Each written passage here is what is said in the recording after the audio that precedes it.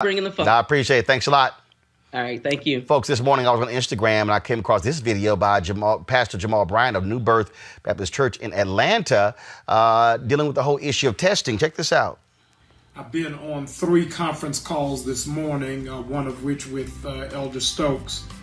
And uh, in order for us to administer it, we need a local hospital uh, and clinic to partner with us. Uh, as of two minutes before this call, we've had the third hospital decline us uh, because their staff is uh, far grossly overstretched uh, and they don't have the capacity. One doctor even uh, lamenting that they're having to sleep in their cars outside of the hospital.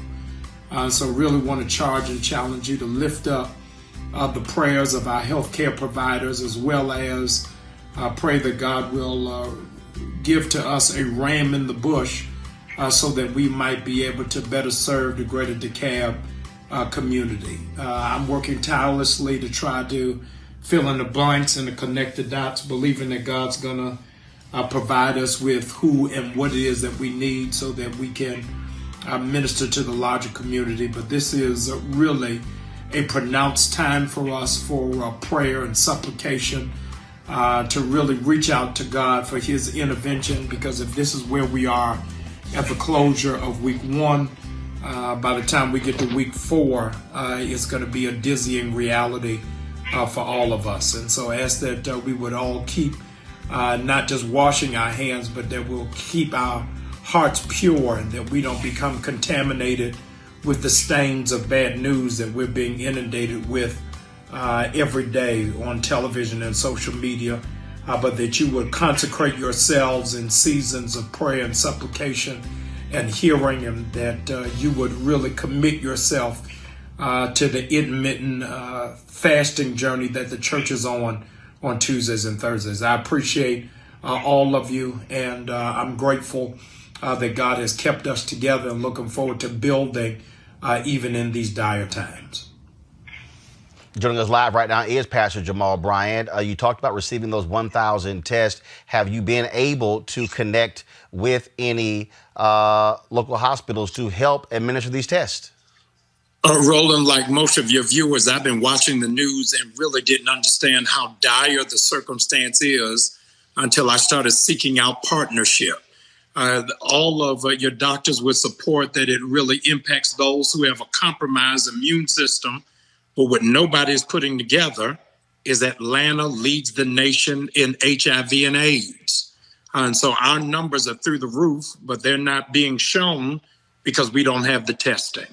I've got uh, a thousand uh, approved uh, COVID testing, but in order to uh, seal the chain, I need a hospital or a clinic to partner with us. We've now talked to four hospitals, and all of them are stretched uh, way beyond capacity. And so there's a whole lot going on uh, that's not being reported or shown in black and brown communities. Where the tests where the tests come from? Say it again. Uh, the tests you received, where did they come from? Yes, it came from a, private clinic in uh, Kissimmee, Florida.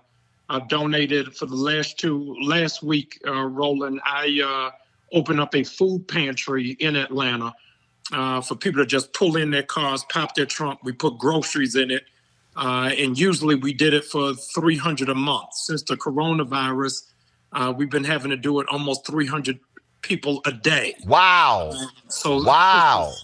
Yeah. Uh, so somebody saw, like you on Instagram, us doing the work uh, and said, we want to partner with you because we see you uh, in the community and believe that you'll, you'll be a blessing. Uh, when you talk about the situation in Atlanta, uh, of course, Mayor Keisha Lance Bottoms uh, tweeted the other day uh, that Atlanta hospitals were almost at, were at, their capacity when it came to ICUs. Uh, yes. When you talk about, again, HIV uh, there in Atlanta, the issue that is still here is the fact that, again, that your church getting these thousand tests is that this nation has been lagging behind in testing. You got Donald Trump at the White House uh, patting himself on the back every day, saying how great uh, things are and how we're leading everybody else in testing. But if you look at uh, per 1 million, we're way behind South Korea and other countries when it comes to testing of citizens. Uh, while you were talking to President Howard, a flash just came on CNN uh, that we've had over 284 deaths just in one day, uh, catapulting us to being the first uh, in the world in terms of deaths. And the way that this president is not leading uh, is only going to get more dire uh, as the days go by. So if you can imagine uh, that all of the beds in Atlanta are filled and Roland, we haven't even reached the peak. They're suggesting that the peak isn't even going to come to the third or fourth week of April. Uh, but if this is where we are, where people don't have food, record number of unemployment filings, the hospitals are already at full capacity. Uh, the mayor of Stonecrest, which is a, a, suburb of Atlanta where my church is located, has uh, offered up a full warehouse uh, to hold uh, hospital beds. I, I, think America is really in for a, a tremendously bad time. Uh, when you talk about uh, uh, my last question to you, impact on churches, obviously they cannot congregate, uh, and we're talking about what's happening with restaurants and other businesses. But many of these churches are also being impacted as well because, like it or not, tithes and offerings. Uh, people are having to move to uh, digital media as well. what have been the what have been the conversations like with some of your fellow pastors around the country, on how they are now adjusting? We talk about how Howard University and HBCUs have had to quickly adjust to online education. Same thing for a whole bunch of churches that are not mega churches, not large churches. They don't really have television media. A, a whole lot of things are going to happen, Roland. If you would consider that if it takes 30 days to make a habit, if 60, 90 days, I'm not used to going to church, I'm watching online. By the time we get to the summer, we're going to have reverse missionaries trying to get saints to come back to church because they're used to just watching it mobilely. Uh, so that's in one compartment. The other one is if culture changes every four years, Roland church culture changes every 15 years. So most churches are 10 years behind. Uh, you text me from time to time with concern about churches you see randomly streaming and how the camera's off, the lighting is off, or they, they're doing it wrong. So imagine those who don't even have that level of equipment uh, are really suffering, and nobody is thinking about these full time pastors uh, who are really finding themselves in dire straits.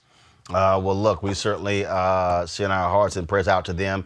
Uh, and one of the things that we'll be doing uh, tomorrow, so let all the church folks know tomorrow, uh, on tomorrow's show, I'm bringing in a, a lot of my stuff and we're gonna do it actually go through and explain to folks how they could actually stream church uh, how pastors could learn how to actually do Bible study right from the house. Uh, and so we're going to take them through the low end to the high end. That's going to be on tomorrow's show.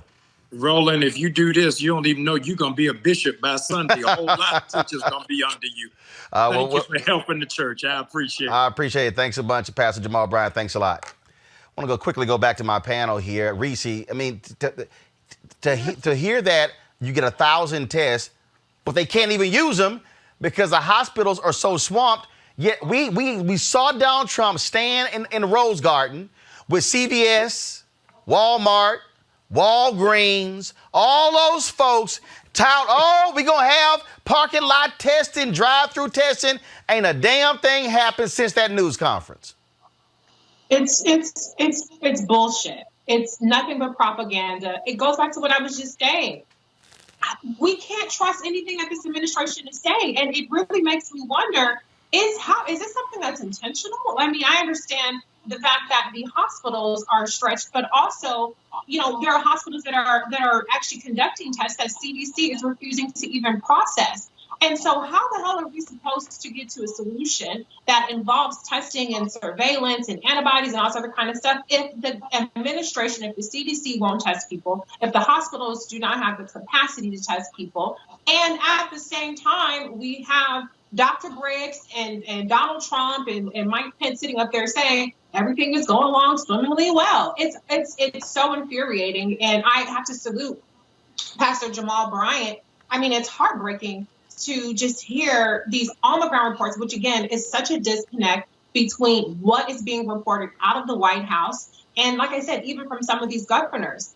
To go from 300 people a month to 300 people a day is staggering. And salute to, like I said, Pastor Bryant and the churches and the organizations that are stepping up to the plate to really help those in need. But we have to start getting to a point to where we really understand what's going on on the ground. And I have to echo what Dr. Carr says all the time that is the importance of Roland Martin Unfiltered, what you do here, Roland, so that we can really get the truth of what's happening, particularly in our communities. Because right now, we're not getting it. Greg, and I, go, go, as we yeah. we can't help if we don't get what the truth is. We can't prepare ourselves.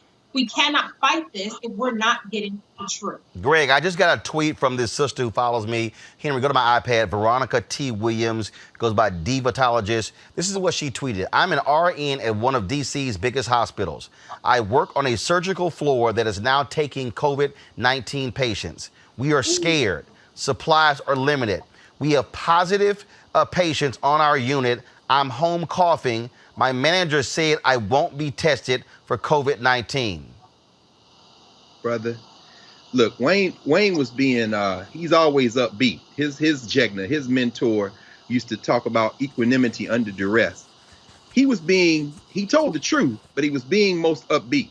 This is what we're hearing from all the healthcare providers. I'm telling you, man, in Atlanta, my, my friends who teach at uh, Morehouse School of Medicine, they're seeing the same thing. The hospitals we really don't know where we are with this. And as you led at the top of the show, the United States today passed China and passed Italy as the most infected nation. And as Jamal Bryant said, Brother Bryant, we're not even near the top of this curve. Now, let me let me just pause here for a moment, though, brother, because I, I, love that outfit you got on, that black and gold. But I, and, you know, I was gonna say that. But in terms of injecting a little levity, when you said you're gonna bring all the stuff in to help show people how to watch church, I finally, for the first time, found out how they make bishops in the modern black church. But at any rate, uh, that having been said, um, to, to the point, brother, this is really showing federalism. All you high school teachers teaching civics out there, here's the lesson for your young people who are at home. Tell them to watch Roland Martin Unfiltered. Tell them to read the newspaper if they can find, get online or to watch television and find out the relationship between local, state, and federal government. The federal government is not working right now. This $2 trillion piece of legislation is the first thing that's going to intervene in your local life. There is no president of the United States coordinating anything. The man is obsessed, and he's and, and then he brings on Mike Pence to put a white enamel over varnish over his rotting brain. At the state level, you've got governors lining up trying to intervene for the people who live in their state borders, but they're being forced in some ways to fight each other. The headline of today's New York Times state versus state as governors limit limit visitors. If wherever you are, the reason New Orleans is skyrocketing now is because that black leadership in that black city is taking charge and saying we got to test these people. But what is it going to do? It's going to overwhelm the hospitals in the city of New Orleans. We have to now pull together and make real demands on elected leadership. This is why it's important to participate in politics and to organize at wherever you are. If you're worried about being evicted and your landlord is a private owner of the building, organize with the other people in your building and send that landlord a letter and say, look, we can't pay and it does no good for you to put us out. Everybody can do something.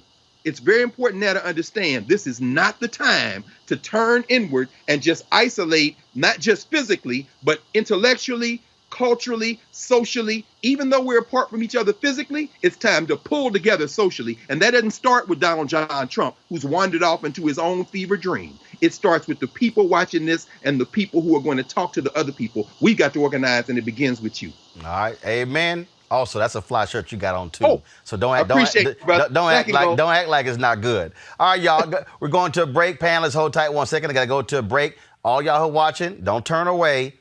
Mental health for African Americans is critically important dealing with coronavirus. We'll talk to an expert next discussing that. And also, y'all see that viral video of the brother from Baltimore who's a reporter in Montana? And that was a herd of bison that was on that was coming his way, and it was not a group of Howard University women. And homeboy booked out of there. We're gonna talk to him right here and in Roland Martin Unfiltered. All right, folks, gotta go to a break. You're watching the live is, the black is the most unapologetic show that's on the, on the digital spectrum. This is what we do every single day because we about speaking to you.